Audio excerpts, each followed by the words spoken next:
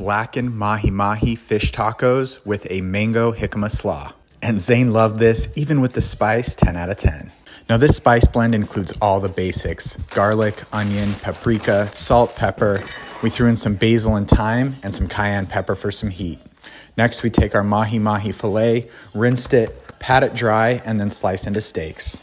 I added a neutral avocado oil and then our spice rub. I went heavy with it because we want this blackened. Next, we heat up a cast iron skillet to medium heat and added butter and more avocado oil. And we fried that fish skin side down for the first five minutes and then flipped for another two. Next, we dial in our home prepared store bought mango jicama slaw. And after a five minute rest on the fish, we prep our avocado and tortilla. Lay down a few slices of that avocado, followed by our blackened mahi mahi with the skin on, and top that up with a mango jicama slaw and lemon juice. And we ran out of lime, so don't come for me.